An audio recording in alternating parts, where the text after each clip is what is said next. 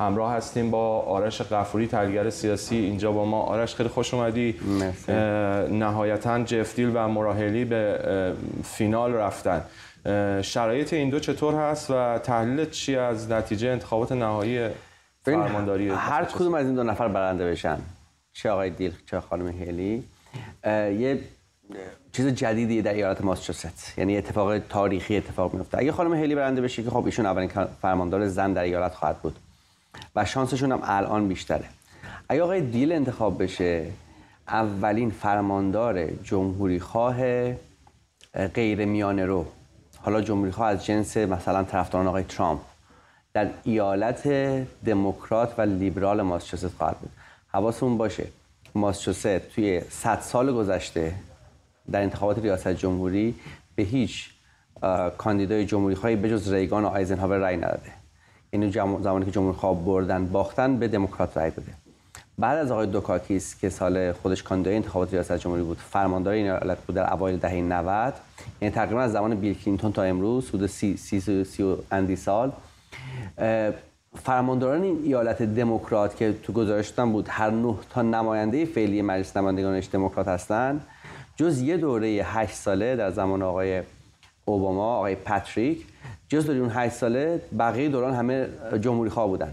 ولی جمهوری خانه میانه رو از چه جنسی؟ از جنس آقای مثلا میترامنی جمهوری خانه میانه رو در این ایالت حالا نمیگم خیلی لیبرال ولی لیبرال و دموکرات و فرماندار فعلیش هم در انتخابات قبلی بازم جمهوری خواه حدود چارلز بیکر حدود 30 درصد اختلاف انتخابات برد. شما از جنس فرمانداران جمهوری خواهی که استبلیشمنت یعنی جریان اصلی حزب جمهوری خواه می‌خواد اونها رو. فرمانداران جمهوری خواهی که می‌تونن مثلا تو ایالت های دموکرات برنده بشن و موفق هم باشن. مثل ایشون یا لری هوگن در میلند به حال تو این انت...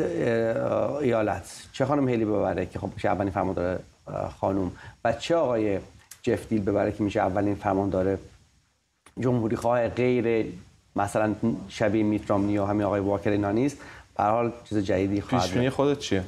خانم هلی شانسش بیشتره. خب ایشون آقای جف دیل با آقای دوتی رقابت می‌کرد. انتخابات می‌بره با ده درصد اختلاف. اما آقای ترامپ هم از آقای جف دیل حمایت کرده بود. اما آقای دوتی انتقادی می‌کنه به آقای دیل توی کمپین های انتخاباتی. اونجا میگه که شما داری یه جوری کمپین می‌کنی انگار مثلا می‌خوای بری توی ایالت آلاباما فرماندار بشی. در صورتی اینجا ماساچوسته. ماساچوست فرماندار داشته جمهوری خواه اما به این معنی که به آقای مثل جف دی رای بده خیلی نمیگم غیر ممکنه اما احتمالش کمتره. من فکر می‌کنم خانم هیلی شانسش بیشتره. اما حالا دو یه ماه دو ماه دیگه انتخابات مونده. آرش وقت زیادی نداریم. هفته دیگه رود آیلند نیو همشایر و دلاور انتخابات خواهد بود. اونجا هم سریع برامون بگو در یک دقیقه تقریبا. مهمترینش نیو همشایر ما نیو همشایر هم انتخابات فرمانداری داریم. هم انتخابات سنا داریم و هم انتخابات مقدماتی مجلس نمایندگان. اهمیتش تو انتخابات فرمان سناست که سناتور فعلی خانم حسن. با اینکه شانسش بالاتره که برنده بشه یعنی باز هم سناتور خواهد بود بسته به اینکه رقیب جمهوری خواهیشون که چه کسی خواهد بود رقابتی حساسی رو ممکن در انتخابات نوامبر خواهد داشت. ولی هنوز شانس خانم حسن بالاتر از کاندیدای است. و طرفداران یعنی کاندیدایی هست که ترامپ ازشون حمایت بکنه. بله توی همون نیو همشار هست. کاندیدای مورد حمایت ترامپ بستگی به این داره که توی انتخابات کدوم که از این دو تا کاندیدا مورد حمایت از جریان اصلی حزب جمهوری خواه و مورد حمایت آقای ترامپ رقیب خانم حسن باشن. همینطور تو انتخابات فرمانداری و انتخابات مجلس نمایندگان به همین دو تا بیشتر مجلس نمایندگان نداره و به هر حال انتخاباتش انتخابات حساسیه.